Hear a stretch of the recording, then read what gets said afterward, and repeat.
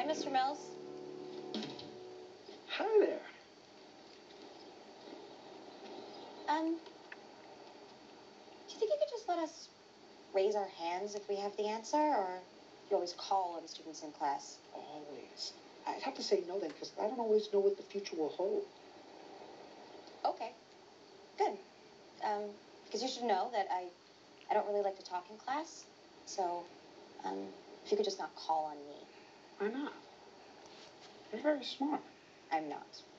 I've always struggled to get by in school, Well, that doesn't say anything about your intelligence. That says something about your experience with learning.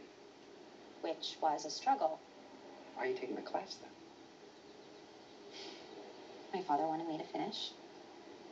He died nine months ago, and I regret not giving him that.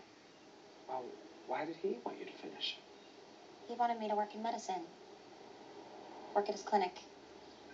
What did you want to do? The same thing. Aha! So, what's the problem? Who said there was a problem? Wait, you're not working at his medical clinic. It can't happen for me. Why not? Mr. Mills, look, I appreciate you trying to get to know all of us, but in my case, you can't just fix something that can't be fixed. See you in class.